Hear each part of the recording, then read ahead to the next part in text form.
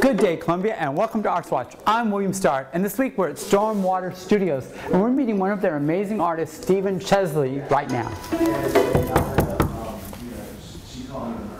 You know, I'm painting for people I- I'll never meet.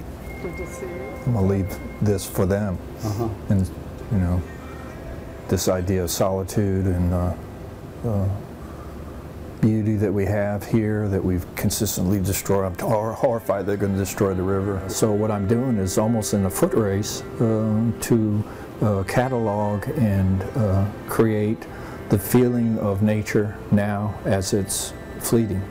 So the concept of solitude, really uh, going someplace and really experiencing that and uh, uh, getting a healthful uh, regeneration from it is becoming less and less.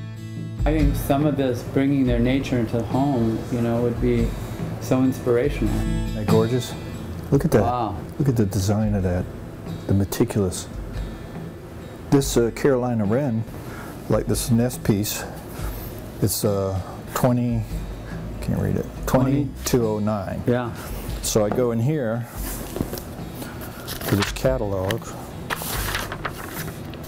Here's 2209, and I give uh, So the that's- title. 20,209 paintings you've done? Right.